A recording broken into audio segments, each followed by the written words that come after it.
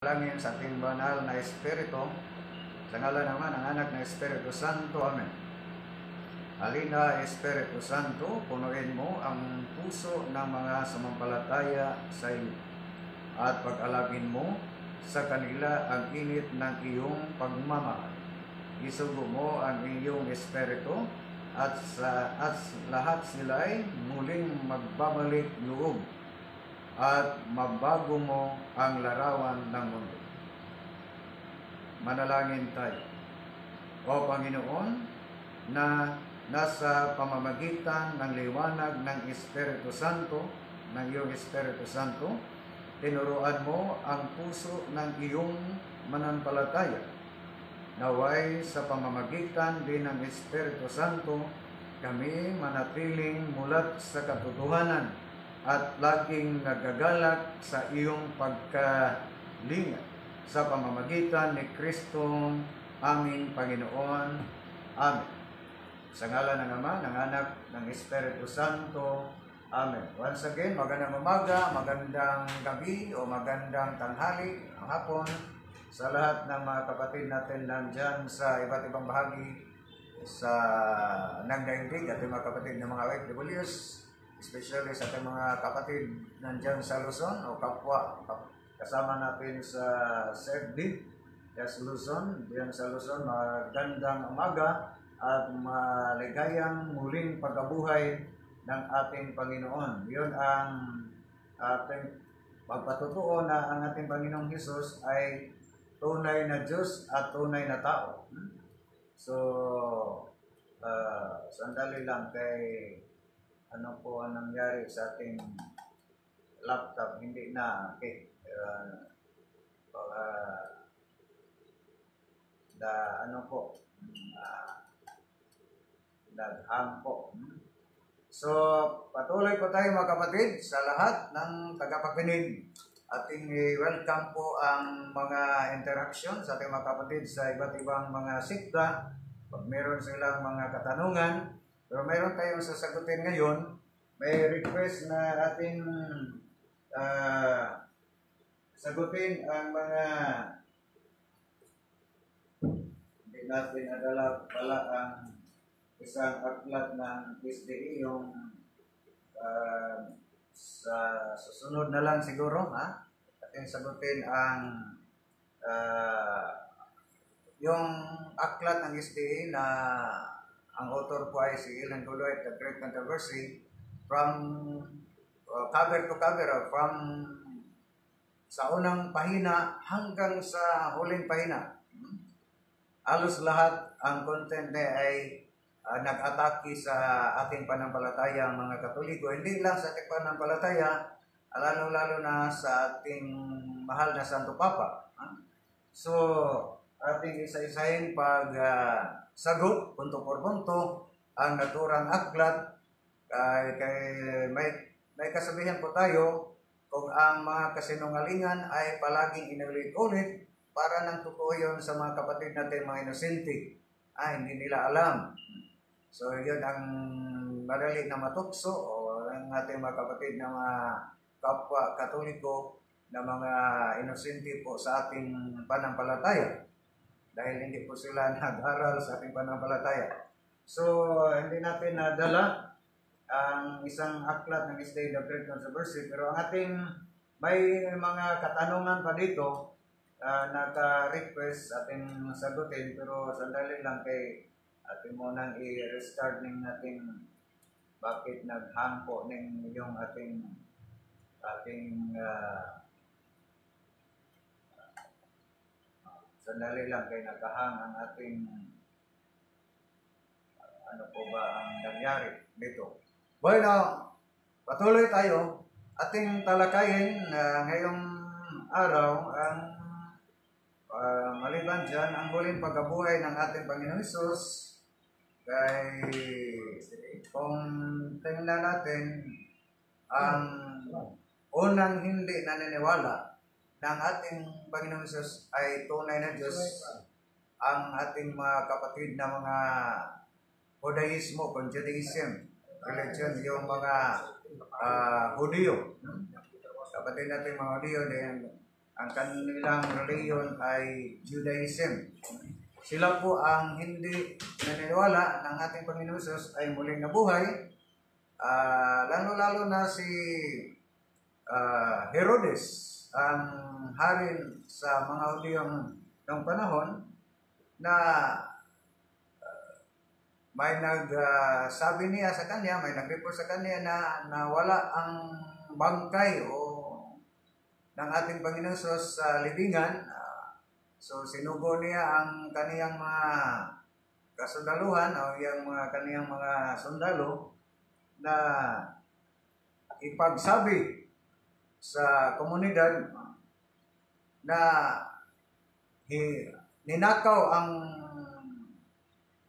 katawan ng ating Panginoon Sos o ang bangkay ng ating Panginoon ninakaw sa kaniyang mga apostol. Yun ang ipaniniwala. Hindi nila, ah, hindi sila naniniwala na ang isang tao lamang para sa kanila ng ating Panginoon Sos ay muling nabuhay.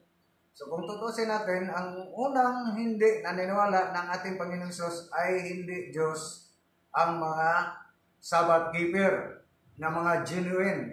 Mayroong mga pirated na Sabbath keeper, yung mga SDA na made in USA na lilitaw noong 1863 naka-register sa SIC, ha? sa Michigan, so USA. So, mayroon pang hindi naniwala.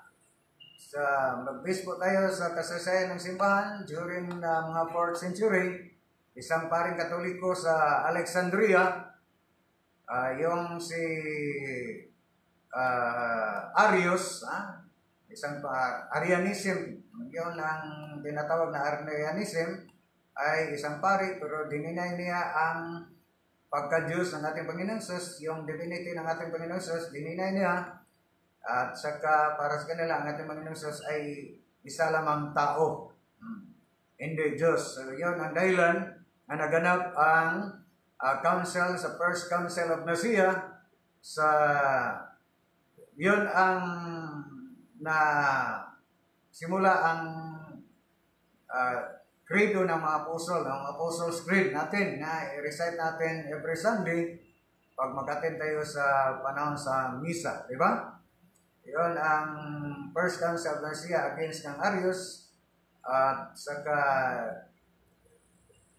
Diyan ang lahat nating panampalataya i-recite natin sa tuwing linggo pag tayo ay magsamba. So, maliban dyan, pagdating ng mga 7th century, nagtatag si Muhammad, ang pinakilala na great prophet sa ating mga kapatid na mga Islam, ang ating ah, para sa kanila, ang ating Panginoon ay hindi Diyos ay para sa kanila isa lamang propeta. Kung mas ah, sa Bisaya, mas bintaha po ang Islam compared to Iglesia ni Cristo. 1914, nilitaw ang Iglesia ni Cristo na tatag ni Felix Manalo, naglipat na palipat-lipat pa sa ibang mga sekta. At sa wakas ah, 9 July 27, 1940 nagtatag siya sa reliyon niyang reliyon. At ang kanyang turo ay si Kristo ay hindi Diyos, tao lamang. So, ah, meron pang sa mga Pilimista, yung Symphoniceras de Lucies, yung tahalili ni right hand po ni Gregorio Aglipay, ang nagtatag ng IFI, Iglesia Filipina Independente, ang si Aglipay, before siya po ay namatay, hindi po siya, wala po siyang di-appoint na kahalili niya o successor niya. So, ang dalawang right hand niya, si Punisher at si uh, De Lucis ay ah, ano po, yung nag, ano sa, sino ang kap- papalit ni Gregory Aglipay. So, yun ang dahilan na ah, naging ha, nahati ang Filipinista. May followers ni De Los Rios, may followers si uh, uh, Punisher. Pero hindi ko sure sino po ang nagturo sa kanilang dalawa, si Luis man siguro, na si Cristo ay hindi Diyos. So, ang Filipinista na naghati panahon na si Gregory Orlipay ay namatay, ang isang kalili niya, yung red, dalawang red, isang reta niya, ah, so nagturo na si Kristo ay hindi Diyos. Maliban dyan, ah, mayroon pang mga kapatid natin nga hanggang ngayon hindi pa, lalong-lalo ng atheist, ha? Ah, hindi naman, ah, hindi yun naniwala na nag-exist, existing of God. So, sa lahat, so, kung tingnan natin mga kapatid, based sa Biblia, ang unang hindi naniniwala, hindi, ang uh, tumanggap ng ating Panginoon Jesus ay tunay na Diyos, 100% na Diyos, 100% na tao, ay ang ating mga kapatid na mga Judaism, mga Judaismo, mga Hudiyo, o mga Sabbath keeper. So, yun ang, ano, pero kung tingnan natin mga kapatid, i-compare natin yung mga sikta na tatag yung mga foreign, yung made in US na tatag. Like for instance, ang SDA. Tatag ni Ellen Goodwhite ni 1863, di ba? Dinay nila nga si Ellen Goodwhite ay hindi founder para sa kanila ay isang propita. So, kinikilala nila si Ellen Goodwhite na isang propita. Sa kaning Mormon, yung Mormon o Jesus Christ later descends. Uh, hindi yun nagto para sa kanila. Na nila na si Joseph Smith ay para sa kanila, hindi yun ang founder namin. Si Joseph Smith ay isa lang propeta namin. So, walang siktang mo inaamin o ang nila na sila ay tataglamang na tao. So, sa dito tayo sa Church of Christ, natatag noong 1872. US and Alexander Campbell. Yung mga Church of Christ, ha? ay uh, i-deny nila nga si Alexander Campbell ay hindi yun ang nagtatag sa amin. Ang nagtatag sa amin ay ang ating Panginoon Jesus. Yun ang Church of Christ. Ha? English pala kay Mid US. Ha? So, para sa kanila, si Alexander Campbell, hindi yun ang founder, kaya para sa kanila, ay isang propeta. Dito tayo sa Atibapag, yung saksi ni Huba, Uh, si Charles Jose Russell, para sa kanila, hindi yun ang founder namin, kaya para sa kanila, isang propita sa kanila. Pero yung mga mid in the Philippines na mga sikta, mas lamang sila sa mid-end US, di ba? Unang-una, ang Iglesia ni Cristo, tatag na Felix Manalo, ang mga Iglesia ni Cristo, uh, magalit sila pag sabihan natin, hindi po kayo Iglesia ni Cristo, Iglesia po kayo ni Manalo kakaratingin kayo sa kanila. Di ba? Oh. So, magalit sila pag pagsabihan mo, hindi po kayo iglesia ni Kristo, iglesia po kayo ni Felix Manalo. Kaya si Felix Manalo nagtatag para sa ginawa. Si Felix Manalo ay hindi yun ang nagtatag, kaya para sa ginawa si Kristo ang nagtatag sa kanilang iglesia. Roman 16.16, pero si Manalo ay anghel. Di ba? Mas lamang. Okay, ang sa Made in US ay propita lang, pero ang in the Philippines na si Manalo, para sa mga Iglesia ni Cristo, with due respect sa ating mga kapatid na may membro sa Iglesia ni Cristo, si Felix Manalo ay anghel. Sa panahon po na ang ating Panginoong Sus, si Felix Manalo ay namatay, kailan po ba namatay si Felix Manalo? Noong April April 12, 1963. So, sa panahon uh, tuwing April 12, magunita po sila sa date anniversary ni Felix Malano.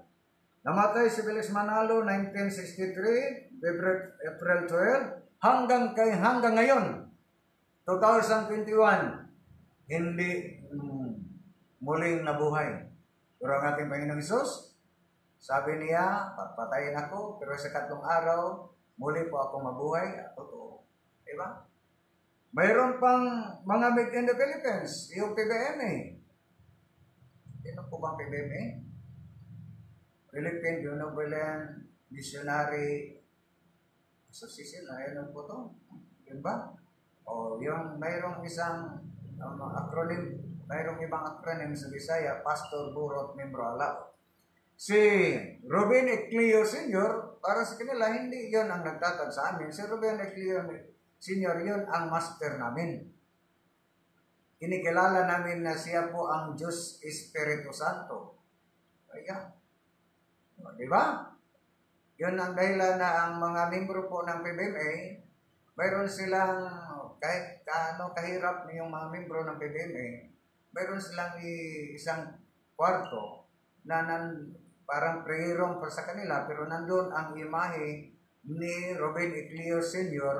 Dito doon sila mag magdarasal at kinikilala nila na master yun ang Diyos nila. At saka ning separate po si Tomas Linyo, member po yon, right hand po yon ni Ruben Eclio Sr., si Tomas Linyo. Nagtatag siya sarili niyang sikta, PBCM, sa Misamis Oriental, hasaan, at siya po ay nagtiklaim sa kanyang sarili niya, siya po ang Diyos Ama. Mayroon ng Diyos Espiritu Santo na Pinoy, mayroon ng Diyos na Ama na Pinoy, at mayroong Diyos Anak. Sino po ba ang Diyos Anak na Pinoy? Walang iba si ah, Pastor Abuloy, Abuloy, Apollo, ah, Pastor Apollo Kibuloy. Sorry po, Ab- Kibuloy na kala ko Abuloy. Kibuloy. Hmm. So, si Pastor Apollo Kibuloy, siya po ang nagkiklaim sa kanyang sarili na siya po ang Diyos Anak, appointed Son of God. Pinanto pa niya ang lindol. Di ba? Hmm. Pero, ha, ang dalawa, yung nagkiklaim na sila po ang Diyos Espiritu Santo, Diyos Ama, namatay na yon pero hanggang ngayon hindi muling nabuhay. Di ba? Ang iba pang ah, leader ng simbahan, founder ng simbahan, Bansigta, namatay, si Ellen Gulwet, namatay, pero hindi muling nabuhay. Yun ang malaking kaibahan mga kapatid sa simbahan at tatag ng ating Panginoon Jesus. Yun ang dahilan na tayo lamang katoliko ang magsilibrar sa death anniversary at muling pagkabuhay ng ating Panginoon dahil siya po ang nagtatag ng simbahang katoliko. So, yun mga kapatid, ang ating itulik sa ngayong araw, sandali lang ating tingnan yung ating mga, meron na tayong, uy, si kapatid, kapatid naman, Ah, si Reverend Father Darwin, ano bergit nga no, Father Darwin, magandang umaga, happy Easter o happy maligayang muling pagkabuhay ng ating Panginoon Isus, ha? Ah, dito ko nag-monitor sa aking laptop, naghang pala. Hindi natin ma-view yung mga naka mga nag-view sa atin. Magandang umaga sa iyo, Father Darwin. Ating talakay ngayon. Mayroong nag-request sa atin, ang dami nag-text natin si Arsenal na sasagutin natin ang mga isa sa mga aklat ng SD yung Great Controversy. Punto por punto natin, cover to cover atin sasagutin. Kaya ang halos lahat ha, ang mga parating nila against sa ating uh, panampalatayang katoliko, ah, lalong-lalo na sa ating Santo Papa. So, next Sunday na lang, kaya na kalimutan natin ang The Great Controversy ng SDA. Pero sa ngayon, ating talakayin sa unang porsyon, atin ang bigyan na tayo ng background, sino po ba ang unang hindi naniniwala ng ating Panginoon ay hindi Diyos ang mga Hudyo. Para sa kanila tao lamang at hindi sila naniniwala ang ating Panginoon ay muling nabuhay. Yun ang dahilan na si Herodes, ah, nagutos siya sa kaniyang mga sundalo na ipagsabi mo sa kanila, katauhan niya, na hindi muling nabuhay ang naturang, naturang Kristo, Jesus. Ang ninakaw yun sa kanyang mga pusol. Di ba? O iba pa, iba pang nasikta, ang ating naalala po kayo, naalala ko yung mayroong isang ustads ng Islam, ating atin lang pinangalanan na yun na-upload pala yun ni Brother G1 uh, audio lang yung nag mayroon silang isinagawa na uh, symposium dito sa Osamis diyan, diyan sa may public mall at sabi ni Ustad Sabiro na kailangan na ang lahat ng mga membro ng city sa Osamis ay magtanong, sasagutin niya, maghanda kayo ng isang libong katanungan. so, tayo ang nagpunta, ating tinanong. So, uh, parang na parang na emotional ang naturang ustads nila. Kaya para sa kanila, si Kristo ay hindi Diyos, para sila ay tao lamang. Pero sa ating tinanong sa Gospel po ni St. Matthew, Matthew 16, 13 hanggang 16, tinanong ni Kristo ang kanyang mga alagad, yung mga apostol, kayo, sino para sa para sa inyo, sino po ako? Ano po ang sagot? Sino po sino sa labing dalawang apostol, sino po ba ang nakasagot? Si San Pedro. Kayo po ang Kristo o Mesiyas, tunay na Mesiyas. Sabi ni Ustad Sabiro, uh, tanong ko, ang sagot ni San Pedro, totoo? Mali. Yung Pedro ninyo, baka kon yun, sinungaling yun. Ah, ni deny pa niya ang ating Panginoon Jesus uh, tatlong beses. So ang paniniwan yung Pedro ay yun siya ang isang uh, sinungaling. Hmm? Anak po siya ng demonyo. Hmm. Satanas. Ang ama yun ng Satanas ay ang ama ng mga kasinungalingan ay si Satanas sa Juan 8.44. Kung pagsabi mo si San Pedro, ang sagot ni San Pedro ay isang mali o kasinungalingan, pag sabi ng itong Panginoon, ang response po natin Panginoon, dininay ba niya, uh, inoreksyon ba niya si San Pedro? Mali kayo Pedro, hindi po ako ang tunay na Mesiyas. Pero anong sagot, ano po ba ang response natin Panginoong Jesus? Kung basahin ninyo ang Matthew 16, 13 hanggang 16, di ba? Ano po ba ang sabi natin, Panginoon? Kay uh, mapalad ka, Pedro, Simon, anak anak po ni uh, Hunas. Kayong mga aral mo, yun, ating basahin muna. Yung sagot mo, hindi galing sa kaninong tao. Huh? Yung sagot ni San Pedro na uh, si Kristo po ay Mesiyas, hindi yon po galing sa kaninong tao. Nanggaling yon sa kanyang ama. Ibinigay yon galing sa kanyang ama. So, meaning, pinatunayan ng ating Panginoon na ang sagot ni San Pedro ay totoo. Hindi mali. Diba?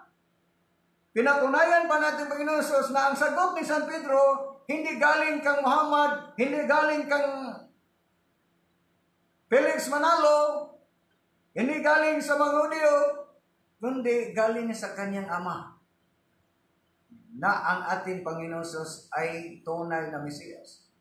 Aking follow-up na tanong, mali ba ang sabi ng ating Panginoon si Isa, para sa kila sa Arabic ay Isa, Isa, ang Jesus. Ano po ang sagot ng isang ustad? Naka-record yan. Nandyan na yun sa YouTube ni Brother Jiwan, audio lang. Eh, wala pa mang video uh, itong, uh, sa turang panahon. Hindi pa hindi na video, audio lang. Ano ang sagot ng isang ustad? Sa Bisaya, kining ato igsuon tuokon jud ta. Iyon ang sagot ni ustad. Kini atong igsuon tuokon jud ta. Kung ang intensyon mo kapatid na magtanong kayo dito para po ako mahiya, pahiyain mo, huwag na lang kayo magtanong kapatid. Lalayas na kayo. Yun ang reaksyon ni Ustad sa isang obispo ng uh, ating kapatid na Islam na nakabis po sa Diocese of Pagadian. Galing po sila sa Pagadian, almost 16 sila, 16 po sila, labing anim sila. Ay kalabing anim si yung balik Islam na si, kumustahan ko kaya si uh, Brother Alimudin, Bantilan. So, malinaw mga kapatid na si San Pedro, ang sagot ni San Pedro hindi galing sa kaninong tao, kundi galing po sa Ama. So, yun ang ating pagpatunay. Pero kung tingnan natin mga kapatid, bakit po matukso ang ating mga kapatid na mga kapwa katoliko lalong-lalo ng mga kapatid nating mga inosente, yung mga blind Catholic, simple Catholic, ah palagi lang nagsamba, pero hindi sila nag-aral sa ating pananampalataya. Yun ang dahilan na sa amin, pag ang isang pastor ay nangangaral, yung ang isang katoliko na inosente nakabunganga, nakinig sa pastor sa harapan, pag ano po yun, pag-commit sa mga teksto ay 10% ang resulta, 10%. Meron silang gamitin, ha? So yun, ha? Yun ang pagpapatunay na ang ating Panginoon Jesus ay hindi lang isang tao, tunay na Diyos. Pero ang mga founder po ng iba't ibang sikta, uh, especially Pilis Manalo, namatay po noong April 12, 1963, hanggang ngayon hindi po muling nabuhay. Ha? Sorry naman po, yun ang totoo. Pag magalit kayo sa akin, ha? Okay. Uh, basta yun ang totoo. Hmm? So, isang isang gamitin nila ang Isaiah 46.9 nga ang Diyos Ama lang ang tunay na Diyos, wala nang iba. Mayroon pa silang paluab sa Numeros 23.19 na ang Diyos ay hindi tao, ni anak ng tao. So, malinaw na milano kapatid na ang Diyos ay hindi tao, ni anak ng tao. At sa Ezekiel 28.9, mayroong ang ating mabasa, ikaw tao lamang at hindi Diyos. So ang tao ay hindi Diyos. Ang ang tao, ang Diyos ay hindi tao, ni anak ng tao. Ang ang, ang sago, ang tanong, ang ating Panginoon Jesus ay tao ba? Uh, ang ang ating Panginoong Jesus ang maamin na siya po ay tao. Mula po sa bibig ng ating Panginoon Jesus, siya po ang nagsabi sa San Juan 8.40, oh, San Juan 8.40, Ako po ay tao na nagsabi ng katotohanan. So galing sa bibig ng ating Panginoon Sos, na inaamin niya na siya po ay tao nagsasabi ng katotohanan. Pero kailangan aware ta mga kapatid. Kaya yung mga Iglesia ni Cristo, pag bumasa sa, sila ang babasa sa, especially James Version, sa San Juan 8.40, mayroon silang idagdag na lamang. Pero kahit anong salin, walang lamang yun. Pero pag sila ang magbasa, ang nakaharap nila, ang, ang mga inosenteng katoliko, ay dagdagan nila ng lamang. Kay ako po ay tao lamang nga nagsabi ng katotohanan. Dagdagan nila ng lamang. Pero walang lamang mabasa dyan mga kapatid. Kay ako tao ang nagsabi o nag, uh, salita ng katotohanan. So, mayroon ng mga katanungan dito sa ating chatboard mga kapatid, ating sagutin maya ha, mamaya. So, kung tingnan natin mga kapatid, hindi naman tayo tutol na ang ating Panginoon ay tao. Totoo naman yun, 100% tao. Pero galing sa bibig ng ating Panginoon, so, kung ganon, may meron, mayroon tayong mababasa sa, sa Exodus 3.15 ba to? Ha? Di, na, di ba, nagsabi si Yuba, ako po ay tao sa, yung tao po siya sa, yung, yung sa ano, mayroon akong tutor dito, yung panggubatan ba yung sa, na, ano po sa kapanggubatan, yung, hindi lang sa lasang, panggubatan, lasang yon Yung, yung, gubat yung ano? Digmaan. Ako po tao ay ng digmaan. Inaamin, inaangkin eh, sa Diyos ang mga siya po ay tao ng digmaan. Kung ganon, naamin ng Diyos Ama, siya po ay tao ng digmaan, ay maubusan sila ng Diyos. Di ba? Kung para sa kanila, ang tao ay hindi Diyos, totoo naman yun nga. Si Felix, uh, si Kibuloy, ay hindi yun Diyos. Tao, hindi man mangyari na ang tao naging Diyos, pero ang Diyos na naging tao, yun ang nangyari. Di ba? Yun ang nangyari ng ating Panginoong Yesus ay naging tao. Pero hindi, dili, hindi yung mangyari yung tao naging Diyos. Yun si Kibuloy. Di ba? So, Maliban dyan, gamitin nila ang unang Timoteo 2.5 na si San Pablo ay nagpapatunay ng ating Panginoon Jesus ay tao. Wala po tayong total.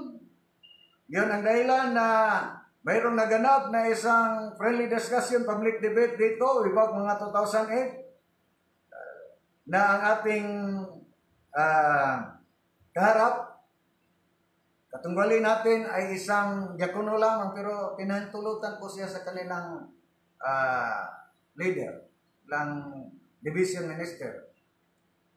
Yun ang dahilan na na ano siya, natiwalag siya, nandoon na yon sa Cebu o sa Buhol. Eh, hindi lang natin pinangalanan. Uh, ating, mayroon siyang, mayroon po akong programa sa kabilang istasyon noon ang title po ay Pagsusuri ng Katotohanan. Kaya nag isa sa ating panelist yung isang diakono ng Iglesia ni Cristo.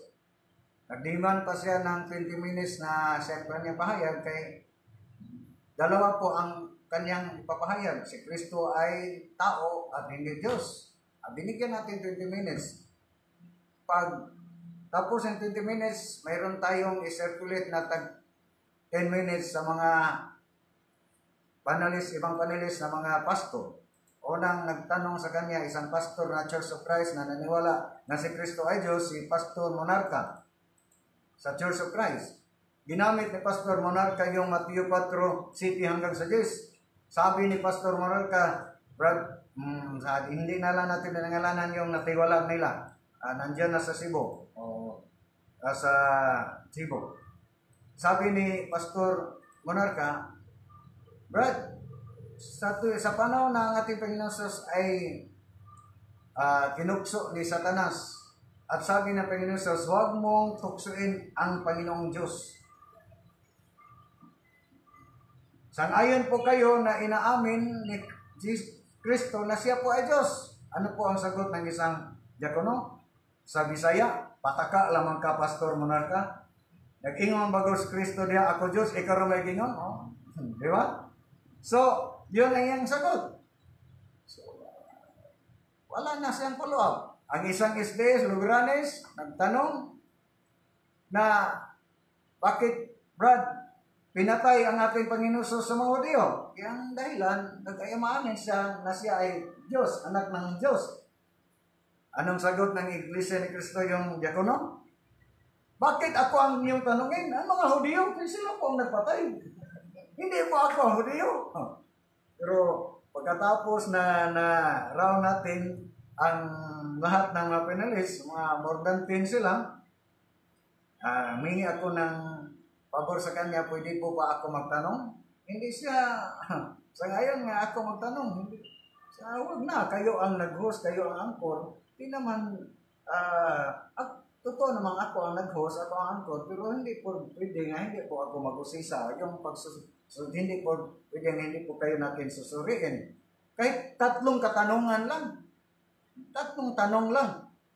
Uh, sa siya.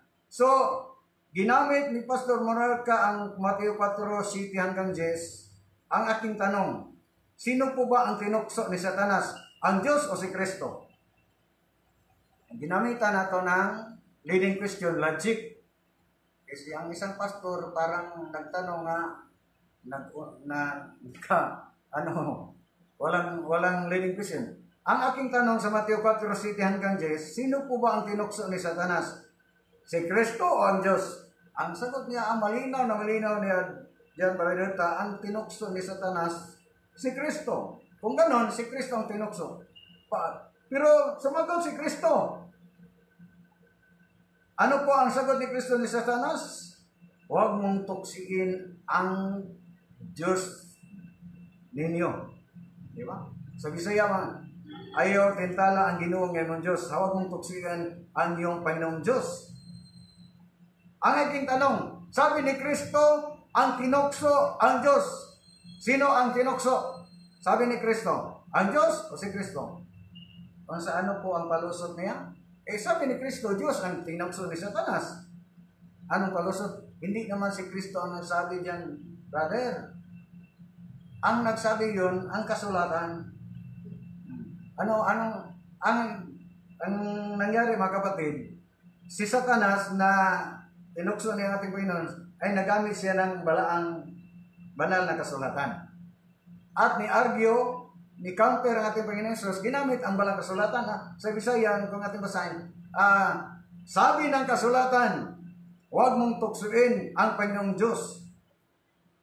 So hindi si Kristo ang nagsabi, ang kasulatan ang nagsabi. Yun ang palusot niya. Kung ganon, na hindi si Kristo ang nagsabi, kaya ang kasulatan ang nagsabi, ang tanong, ano po ba ang sabi ng kasulatan? Si Kristo ang tinukso o ang Diyos ang tinukso? Wala na, nagwala na. Akala niya, makalusot pa siya. Di ba? So, nagwala na siya. Mayroon pang nag-comfort sa kanya yung isang saksi niyo ba, huwag kang magganon dito. Huwag kang mag-wild dito. aking inok na rin, tibra ang commercial at aking hinamon siya kung ganon, magdebate tayo, formal level. Papatunayan ko nga si Kristo matutunay na Diyos at tunay na tao. Anong sabi niya? Wala na po tayong debate sa pagkatao, brother ta. Kaya naniniwala kayo si Kristo ay tao, kami po ay naniniwala na si Kristo ay tao. Ang ating debatehan, yung pagka-Diyos ni Kristo. Ah, sige. Papatunayan ko na si Kristo ay tunay na Diyos. Later for later, mabasa sa Biblia. Di ba?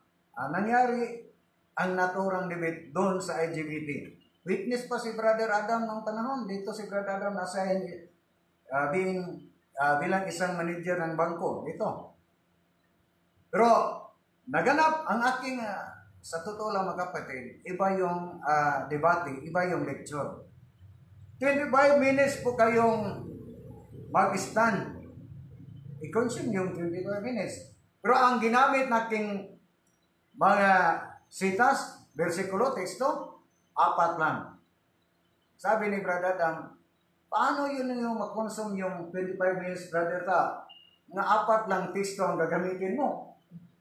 So, magamit ko sa iba't ibang mga salin. Hindi, iba yung debate, iba yung kailang mayroon kayong tinatawag na uh, art of debate. Pag lecture, uh, pwede, ang dami mga teksto, supporting verses, pero debate yun, so sabi dito ng verse ang isang mangangayam, yung hunter, pag sharpshooter siya, yung isang bala, igo na, tama na. Oh, tama na, isang bala, basta tamaan na. Di ba? So, kung magamit kayo ng, ng daming mga sitas, kayo po ang magproblema pagsasagot. Direct to the point. Ano? Ayun lang ang Mateo 16, 13 hanggang 16. Mateo 4, 7 hanggang 10. Uh, Peter, uh, 2 Peter 1, verse 1, verse, uh, chapter 1, verse 1, at saka yung Tito 3, 12 at 3, 12, yun ba to? Yun lang aking ginamit. Pero ano ang una niyang katanungan? Ilan po ba ang Diyos na pinatunayan dyan sa Biblia? Sino po ba ang aming ano mga kapatid, aming moderator? Isang balik Islam, siya po ang nag uh, siya po ang gusto na yung sa kanyang gusto na ang mag-moderate namin na isang Islam. Ilan po ba ang Diyos na pinatunayan dyan sa Biblia? Ang sabi ko, hindi po ako nag papatunay na ilan ang Diyos, ang aking tema, sabi ko ay, si Kristo ay tunay ng Diyos. Magtanong ka lang sa aking mga sitas na uh, sagot niya. Si, sagutin natin, isa lang ang Diyos na pinatunayan dyan sa Biblia. Yan ang tamang sagot. Wala. Ang Ama, Diyos ba? Uy, Jesus Mr. Morito, hindi po ako nagtima ng Ama. Ang tapi ko, hindi po ang paksa namin ng Ama. Ang ating paksa ay si Kristo, ito na na Diyos. Bakit magtanong siya sa Ama? Wala siya, wala siya magka. Pero, eh, pasagot niya na sagutin mo lang. Ang Ama, tunay ba na Diyos? Ay, uh, Mr. Morito, kahit na hindi na yun ang aming paksa, pero ang iyang tanong, ang Diyos Ama, ito na ba na Diyos? Ay, sagutin natin na ang Ama, ito na na Diyos. Ang anak tunay ng Diyos, ah, of course, yun ang ating paksa, yun ang ating tapiko. Ilan na ba ang Diyos na pinaluan mo? Ang Diyos Ama, tunay na Diyos. Ang anak, tunay na Diyos. Ilan naman Diyos? Ay, isa lang. Isa lang ang Diyos. Ano ang sabi ng ating Panginoon sa San Juan 10.30? Ako o ang Ama, iisa lang. Hmm. Para sa kayo, dalawa na ang problema na yun. Sabi ni Kristo, ako o ang Ama, iisa lang. Sabi mo, kung para sa dalawa na, ang problema na yun mo. Ano ang palusot niya? Nagsabi ba yun sa natong, naturang sitas ni Kristo, Aki, aki, ako kang ama, ay isa lang sa pagka-Diyos? O kayo lang ang nagsabi? Totoo naman yun na hindi nagsabi ni Kristo, ako ang, at ang ama, isa lang po kami sa pag-Diyos. Hindi yun sinabi ng ating Panginoon Jesus. Pero kung tingnan natin ang context, pag sabi ng ating Panginoon Jesus, ako at ang aking ama ay isa lang po kami, hindi yun tumutukoy sa pagkatao. Tumutukoy sa pagka-Diyos. Kaya tumutukoy yun sa pagkatao, di ang Diyos ang may tao na rin. Di ba? Wala na siyang nagawa. Wala na siyang follow-up. Anong sago, anong sa, ang palog na pangutana? Si Pedro, si Juan, si Pablo, apostol ba? Na, bakit nagtanong sa iyo kapatid? Ha? Hindi yan paksa namin. Hindi, hindi na yun ah, dapat tanongin niya. Totoo nung pag apostol. Nan, pero sinagot ko siya, nandyan sa aking pahak. Hebrehanon 3.1, si Kristo po ay apostol at Pangulong Pare. Ang mababasa si Kristo ay apostol, hindi na Diyos. Nandyan lang sa isip mo kapatid. mga kapatid, ah, Edgar uh, Amirel, no? Mang dami pang mga kuan at analin Polanco. Amalin Polanco. Maraming salamat. Hindi natin ma-view ha ang yung nang nag-comment. Maraming salamat. May tapos na tayo sa anong portion, ikalawang portion po tayo, ating ah, patuloy ang pagtalakay, mga pagsagot natin sa mga katanungan sa ating mga kapatid sa ito pagsikta na naka-send dito sa ating text line. Maraming salamat at magandang umaga.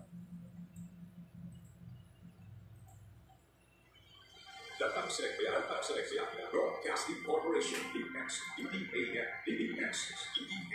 what you find, what you find.